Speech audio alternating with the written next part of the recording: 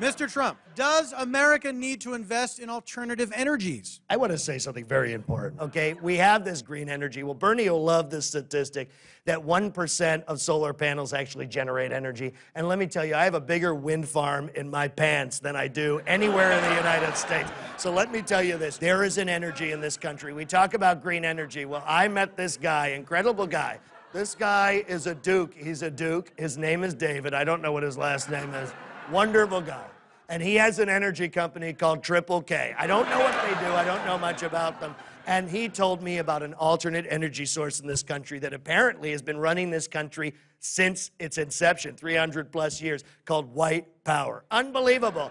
White power. There is white power flowing through this country everywhere, and apparently it runs everything. Unbelievable. And I'll tell you this, a tremendous power source. The Republican Party has been running on it for over 60 years since the Southern Democrats broke from the party. And so the, they're doing great. I mean, they have been not so right now. I mean, we're going to destroy it, but I'll tell you that.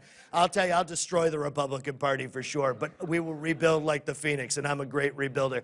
But I love this white power, and we can use white power everywhere. White power exists right here, right now. You don't even know you run on white power. That's what's so amazing, especially the white people in this audience. You have no idea how you run on white power. You don't even know it. But I could tell you the black people in the audience do know. They know.